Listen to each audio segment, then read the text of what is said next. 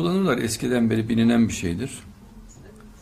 Bediüzzaman bile hep e, yani müstahar isim kullandı. E, mesela Bediüzzaman diye. Halbuki ismi Said Nursi ama Bediüzzaman'dır. E, birçok alimde, birçok hocada bunu gördük. Müstahar isim güzel bir şey. O dönemlerde ben müstahar isim olarak Harun Yahya seçmiştim hakikaten. Harun Hazreti Musa'nın yardımcısıydı. Yahya da Hazreti İsa'nın yardımcısıydı.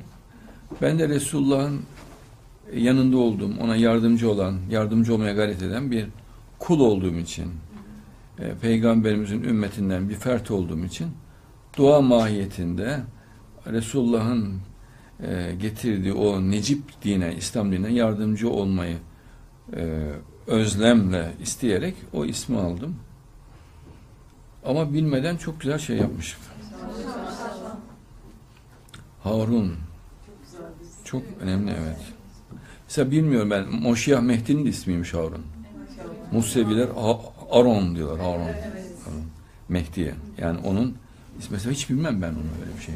Çünkü ben o yıllarda o konuları hiç bilmiyordum. Aron Cohen o şekilde. Yani Cohen soyundan geliyor çünkü. Ee, Harun çok önemli Tevrat. Hep Harun, Harun, Harun hep öyle o şekilde geçer. Aron.